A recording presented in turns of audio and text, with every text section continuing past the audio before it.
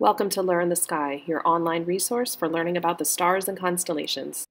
Welcome, my name is Janine, and in this video, we're going to explore the differences and similarities between a lunar eclipse and a solar eclipse. At the time that this is being filmed in 2021, there happens to be a lunar eclipse that's happening towards the end of May, and then a solar eclipse that's happening in early June. So I thought this would be a great opportunity to explore the differences between the two.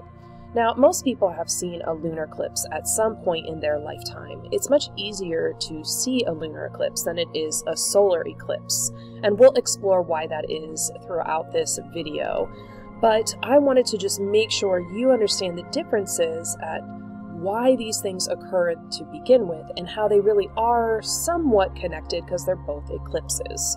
So, a lunar eclipse is when the moon passes through the Earth's shadow, and this only occurs at night during the full moon. It's longer in duration than a solar eclipse and it occurs more frequently.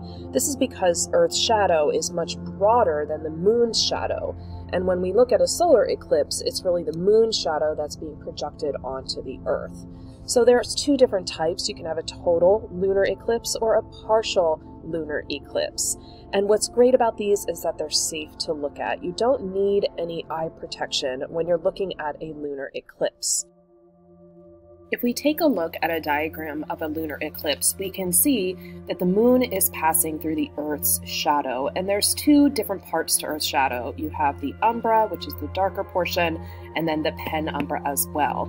I do like this diagram because it just gives you a different angle as to how we're looking at the lunar eclipse, and you can see that throughout the time in which the moon is starting to pass through the shadow of the earth, we have the penumbra right here, and then this is the umbra. And we see more lunar eclipses because the earth's shadow is much larger and broader than the moon's shadow. And we'll learn about how the moon's shadow falls upon the earth during a solar eclipse. I do like this picture here as well because it shows you the progression of a lunar eclipse. We first start with the full moon, and then this is where the eclipse is starting. It's continuing as we go down this way, and then we come into the full eclipse when we get into this orangish color. Keep in mind that there's another total lunar eclipse coming up on May 26 on 2021. This is called a super blood moon, and it's visible from parts of Australia, the Pacific Islands, some of some of the areas in the Americas, as well as East and South Asia. Now we'll take a look at some of the characteristics of a solar eclipse. A solar eclipse is when the moon covers the sun, and it can only be seen in the daytime. This is the opposite of when you can see a lunar eclipse. The moon's narrow shadow casts this pathway along Earth, and we'll take a look at some diagrams of that soon. But it's a good thing to keep in mind that it's unsafe to look, to look directly at a solar eclipse. You need eye protection. A solar eclipse is also only visible within a narrow pathway along the Earth, and this makes it more challenging to see a solar eclipse. I myself has never truly seen a solar eclipse. So I think the time that I had a great opportunity was like literally like bad weather when I was a kid.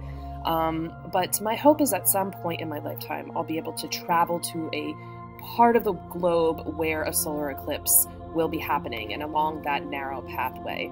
So if we take a look at this diagram, you can see the arrangement of the sun, moon, and earth. The moon covers up the sun and it casts this narrow shadow along a pathway on Earth. And keep in mind that because the moon's shadow is much narrower, that's why we don't see as many solar eclipses, or why it's harder to see them, I should say. Generally, there's about two per year of both lunar and solar eclipses, but that does vary from year to year. So we have our sun, and what happens is the moon covers the sun.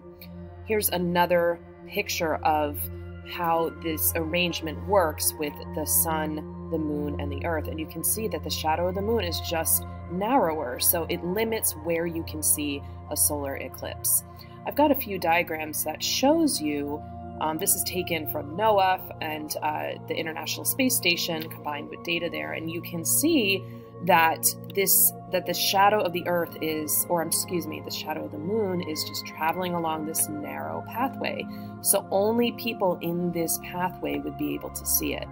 Here's another great diagram that shows how that shadow is cast upon this pathway so people that are in this pathway right here would only be able to see the solar eclipse so you can see in this particular portion i mean it's over the ocean for a good portion of this. And I love this shot as well. This is a picture of a solar eclipse from the viewpoint of the International Space Station. So this right here is the shadow of the moon that's cast upon the Earth. And there are different predictions and maps that you can look up that show you a total and annular eclipse path. So these are very helpful because you can know exactly where you should be when a solar eclipse is going to happen if you want to see one.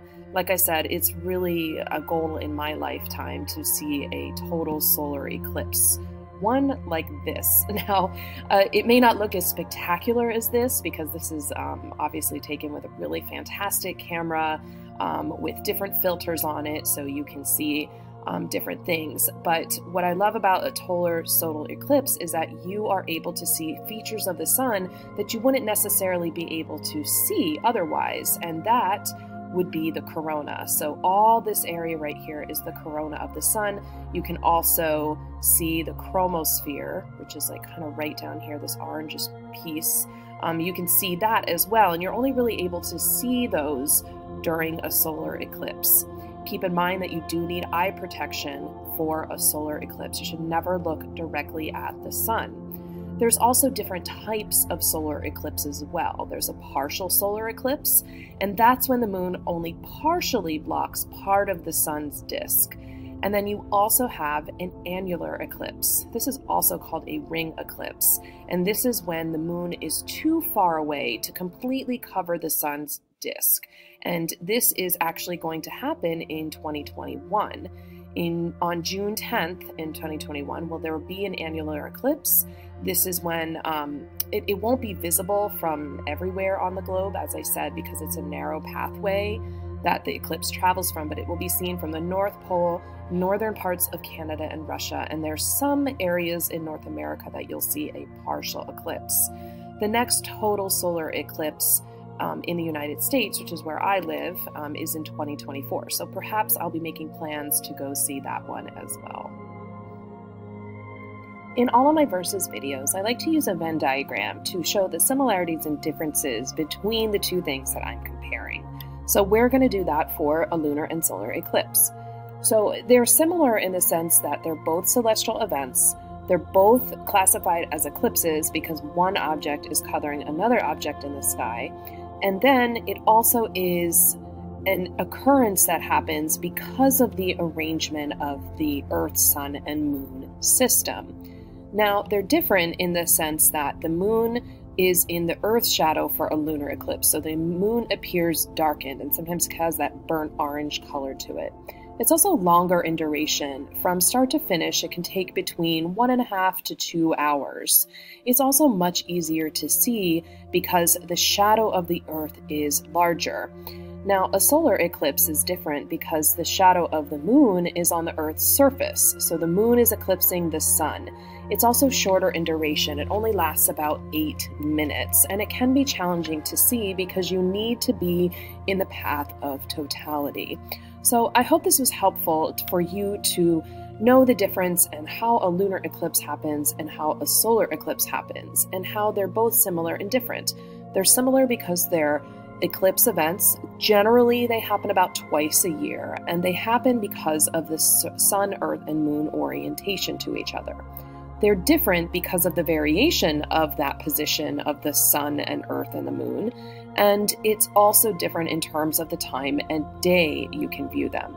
Remember that a solar eclipse is viewed during the day, you need eye protection to see it, where a lunar eclipse is viewed at night at the full moon and you're safe to look at it without eye protection. Also, the duration of it is different as well. So I wish you luck being able to see the annular eclipse if you happen to live in that area of the globe, and hopefully you get to see the total lunar eclipse that's happening in May as well. Thank you as always for watching. I really appreciate all the support and comments that you guys leave on this channel. So if you have any questions or comments, leave them in the space below. Good luck seeing a solar or lunar eclipse at some point in your lifetime. And remember, it takes time, patience, time, patience, and practice when viewing the night sky. So keep going outside, spend time in nature, and as always, keep looking up.